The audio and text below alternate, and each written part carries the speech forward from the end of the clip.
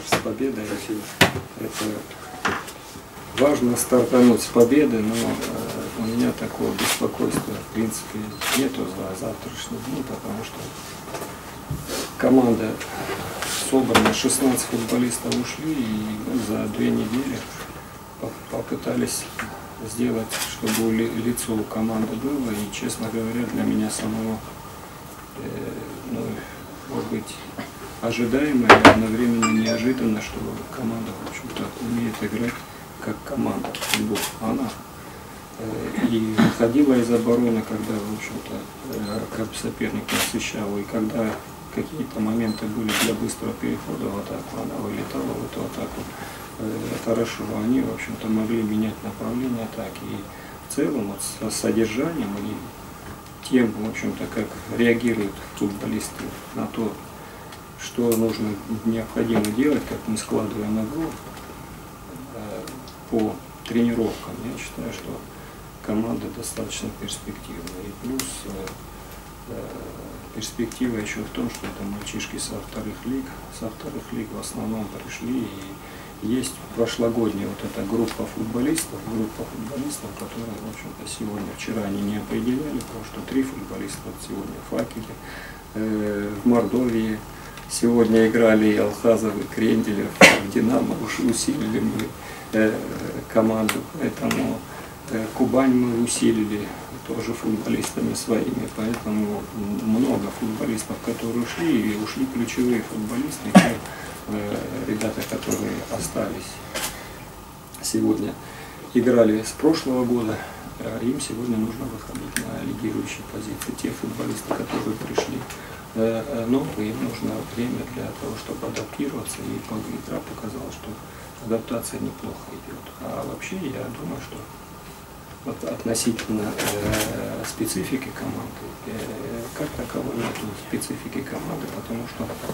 если она в начале пути, безусловно, надо позаботиться об обороне, сегодня стандартно действительно э, не сыграли, не сыграли, потому что зона оборона тоже требует внимания. То, что касается, в общем-то, в целом перестроения нет. И команда сегодня э, насыщенную оборону, в общем-то, пыталась скрывать и в целом э, создавала проблемы э, сопернику. То, что много мы там потеряем мяч рисовали, и каждый тренер, каждый тренер, безусловно, если мы играли, вы видели здесь дублем или еще что-то, мы не выпускали с той половины. Вот как сказал Паша, что э, уважают нас. И здесь тоже надо понимать, на каком этапе ты строительства команды, какой уровень твоих футболистов. Поэтому если так уж говорить, мы занимаемся всем. Да? Мы занимаемся обороной, быстрой атакой, мы занимаемся позиционной атакой, причем много. Это и стоп мы делаем, и перестраиваем, еще что-то. И блоками, в общем-то, э, работаем показываем, как вскрывать, и через видео скрываем. Это большая, большая работа, и сложить команду вот так. При потере высокая оборона через прессинг тоже они должны, атакуя определенным образом, располагаться наверху, для того, чтобы суметь спрессовать и на игрока, который владеет мячом, когда это, чтобы здесь адресов не было. И сегодня какие-то вещи э, получались. Если строить команду в длину, то, безусловно, надо построить как дом фундамент, потом это, а потом заниматься интерьером и чем мы занимаемся, старались в кратчайшее время. Поэтому, знаете, такого огорчения нет. Сейчас я их поздравил, в общем-то, с первой игрой, с э, достаточно хорошим содержанием. Содержанием. Качество футболистов у Факела, надо сказать, хорошее, недостаточно опытные э, ребята, и кто-то в премьер-лиге поиграл, кто-то имеет большой багаж игры в первом дивизионе, поэтому если взять даже просто сам опыт, возрастные особенности, допустим, здесь команд, конечно, у нас есть э, куда расти и куда стремиться, хотя у них тоже баланс, я считаю, очень хороший, и подбор игроков хороший, это надо отдать должное э, руководству, потому что есть опытное звено, есть звено, в общем-то, которое должно вести команду, есть некие эти, да, я, видите, как впервые у меня Зураев остался опытный. Дальше у нас уже 90-й год, Лучник самый опытный. И дальше команда просто до 99 -го года идет от 91 до 99 -го года вся команда. У меня три человека, которые 89 90 это три самых э, опытных футболиста. И в этом плане, я думаю, но а каждый раз я им говорю, что вы все с 7 лет играете в футбол. Да, вы достаточно слышали тренеров, которые вам говорили, как играть. Это багаж, который, в общем-то, бесценный. Но здесь есть, в общем-то, определенная манера игры, которая, наверное, называется лицо команды. И вы должны здесь услышать меня, и я должен озвучивать даже те вещи, которые вы вместе знаете. И когда вы вместе знаете, как играть, тогда получается синхронная игра и в обороне, и быстрые атаки, и позиционные атаки. Поэтому, безусловно, в медленной позиционной атаке не скроешь. Даже контролируя мяч, ты должен в последней фазе взрываться. Над этим тоже мы работаем и будем работать. Если брать отрезок неделю между матчами, то, безусловно, всем этим аспектам выделяем внимание. Мне как-то сложно говорить, над чем вообще работают другие команды и как-то характеризовать. Безусловно, так оно смотрится. Кто-то играет вот в такой, в такой манере, в такой манере. Ну, например, если ты играешь сегодняшним днем и смотришь на 2-3 года вперед, то я думаю, что ты завтра получишь команду, которая может тебе проблемы. Другое дело, очень я думаю, мы промахнулись, что не ребят. Я говорил руководителю, надо давать длинные контракты. Ну, опять же, эти люди пришли, тот же Дима Иванов, который сегодня ушел, он не играл два года. Голов пришел, который мало имел опыта, допустим, там в Краснодаре. Здесь тоже нужно было. У нас Крендель не играл тоже два года, надо было восстанавливать. И многих ребят нужно было восстанавливать. Когда Байрыев 8 месяцев не играл, надо было поставить на ноги. Олейник скатился до второй лиги, потому что Ротору не нужен был, пошел в Олимпию, здесь встал на ноги, и мы не получили никакой э, компенсации, компенсации плюс мы не успевали даже просто по возможностям своим поставить команду. Вот такой промах, я считаю, что которые допустили, мне сказали, что мы думали, они вот оттуда, оттуда, что они не вырастут. Ну, оказалось, что выросли для того, чтобы команды их пригласили, создали условия, поэтому теперь, наверное, доверие, доверие к э, тому, как будут развиваться отдельные футболисты, в целом команды, наверное, будет больше. И через это пройти, а через это растет руководство, наверное, да, потому что когда видят, вот сегодня там Гайдуков пришел, там, или Кирисов пришел, или там Зарипов пришел, или еще там Акбашев где-то внизу там играл, Курский еще. Поэтому, безусловно, безусловно, это, этот этап надо пройти. Я думаю, что мы его успешно пройдем и повторять таких оплошностей не будем.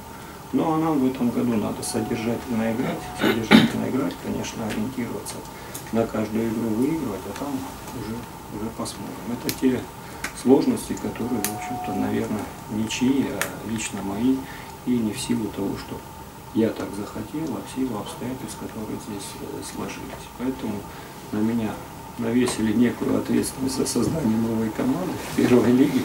Поэтому я думаю, что мы будем стараться, не знаю, как будет, но стараться будем, в общем-то, э, сложить команду из тех ребят, которые есть. Потому что он уверен, это ребята перспективные, я вообще больше уверен, что в России вообще материал, как и любой материал, его очень много, его очень много. Только нужно определить двигать качество, посмотреть, что у них есть, и это, в общем-то, что взращивать, что Э, растения, что футболистам, каждому свое время нужно, и вопрос психологический формат имеет большое значение, потому что все зажаты, а свобода тоже имеет значение. Они должны понимать, что тренер их, в общем-то, не давит, а тренер, в общем-то, с ними, с них может он потребовать, но он всегда за них, но, в общем-то, их ориентируют, и поэтому вот этот груз, который я всегда принимаю у футболистов, мы стараемся этим заниматься, для того, что мы, в общем-то, стараемся ставить игру и использовать их э, лучшие качества, и чтобы, в общем-то, прятать те, в общем-то, э, качества, на которых они не должны быть. Надеюсь, и болельщику хочу сказать, что надо набраться терпения. Э, сегодня и нас поддерживали, упреков не было. Это говорит о том, что с пониманием болельщика относятся. И с другой стороны, команда понравилась, новая команда с содержанием. Соперника еще раз хочу поздравить э, с победой, пожелать выполнения тех задач, которые они перед собой поставили. Перед собой поставили, дай Бог, мы эту команду сохраним пару лет. И я думаю, что это будет будет, уверен, неожиданно, очень хорошая команда, не со звонких имен, но именно и они сами себе завоюют и заслужат. Поэтому спасибо всем. А, Почему, почему Веркашанский в старте вышел? Я могу сказать. Могу сказать. Потому что у нас осталось там из э, 29 человек, там было ну, 10 человек, грубо говоря, да, там, из команды. Я всех их поставил, да, прошлый год. Конечно, по этой игре, безусловно, напрашивался Радченко и Машуков, да, но я вел туда. И я сказал, что риски, и даже э, ребятам сказал, что Верхошанский может не понять меня, и психологическое состояние. Я говорю, лучше мы сделаем, в общем-то, в своей штрафной, это риски. Потому что под 2 метра футболисты Радченко еще и все были за то, чтобы вышел Радченко. Я сегодня думаю, Веркашанский тоже это услышит, и завтра он хрупкий, хрупкий в плане того, что хочет играть, хочет играть, и я посчитал, что надо выпустить Веркашанского, и Радченко не так больно, потому что он только пришел, и Машукову не так больно. Поэтому дальше мы, безусловно, будем ротировать, потому что строится команда, и я считаю, что тренер должен, оберегая футболистов, брать на себя риски. Поэтому ну, сегодня не, не думал, что какие-то риски есть, но учитывая не, невысокую нашу команду, а ожидал, что при стандартах я создаю своей команде проблемы, как и получилось. Но, в общем-то, я э, не, не жалею, потому что у меня есть завтра возможность об этом говорить с командой. Еще, то есть сегодня мы даже не от соперника сыграли, а сыграли от э, тех ребят, которые были, и мы там дали уважение, дали риску, риску. Вот так поставили двух больших, э, этого, я думаю, там не было проблем, но думал, они по позиции сыграют. Так, так получилось. Получилось, поэтому ну, в целом, я же говорю, само содержание, меня очень удовлетворило. И вы видели, Радченко вышел неплохо, вы видели, Аббашев вышел, вошел, в общем-то, неплохо. Думаю, Веркашанский очень старался, очень старался, да, насыщенно. Оборона неуютно себя, допустим, Дима с большими и по прошлому играм чувствовал, и сейчас, когда вышел Радченко, и это я знал, я считал, что так будет правильно. Поэтому ну, команду поблагодарил, а себя пожурил.